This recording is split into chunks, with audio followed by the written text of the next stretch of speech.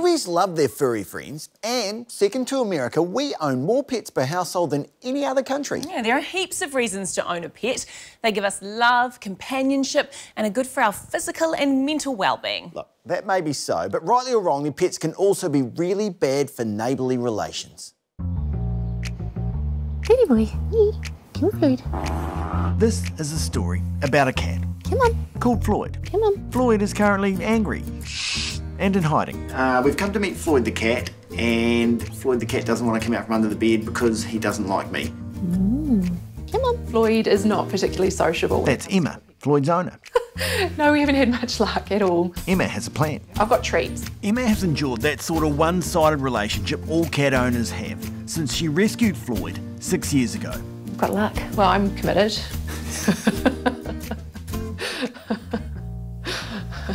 he's a cat, so, uh, you know, he's semi there. Even though Emma's really into Floyd, He was ridiculously handsome. the cat has caused trouble. I tell him all the time that he's lucky he's still got a roof over his head. Two years ago, Emma bought her apartment with Floyd in mind. She says the real estate agent said it was pet friendly and she got written permission from the developer for a cat door. Uh, and he said, Hi, I have no problem. For a few months, Floyd's life was good. His days rolled into one happy routine. Alternates from sleeping to sitting out by the window, back to sleeping, maybe a little bit of a snack, a bit more sleeping, a bit more uh, bird watching, and a bit more sleeping. Then one night, Emma got an email from building manager Marianne Inglis. Came completely out of the blue.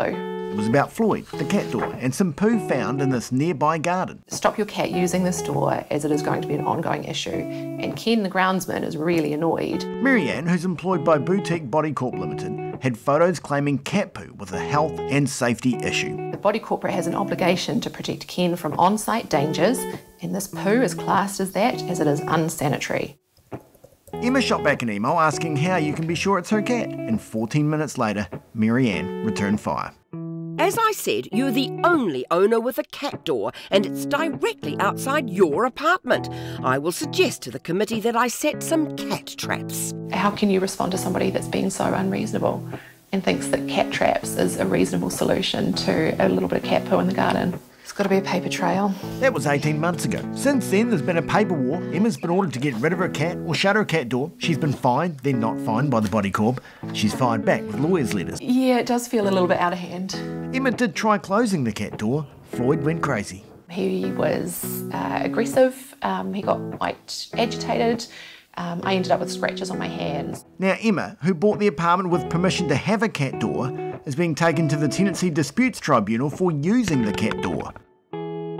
If the Body Corp win, they want the cat gone in 48 hours, plus money. They have demanded, um, I think it's the equivalent of about a couple of grand's worth of lawyers' fees, um, time for the building manager, time for the body corporate manager.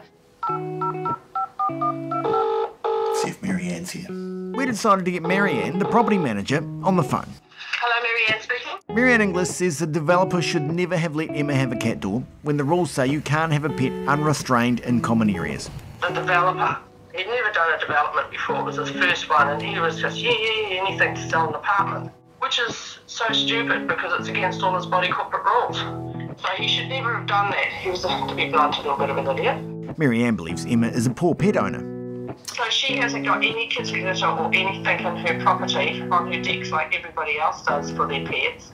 And her cat goes out and poos in all the gardens, particularly all around the bottom of her area, and she expects everybody else to clean it up. Emma says she does have kitty litter in her spare room, but for Marianne, the answer is simple. Shut the door, flat door on your apartment door, and you can your cat can stay inside like everybody else is in the complex. Do you think it would be healthy for a cat to stay indoors all day and night? No, but they can get out onto their deck. This is the garden Floyd allegedly damages with his poo. Emma claims she cleans it once a week, and today, this is what she found. Two little nuggets, which I can't tell whether it's cat poo or whether it's bark. In the end, the cat door at the centre of this dispute may be cursed. Oh, sh. It's certainly bad luck for Floyd. Maybe also for Emma, who says Floyd is staying, I've never thought about getting rid of him. or they're leaving together. If I decide to sell and move, it's going to be on my terms. It's quite a flap over a cat flap. You know what the world needs more of? apart from oxygen and an ozone layer, it needs discretion. The woman's allowed to have a cat flap door when she brought the apartment, so let her keep her door and also just make sure she picks up the poo. Nice, simple solution. Oh, there you have it.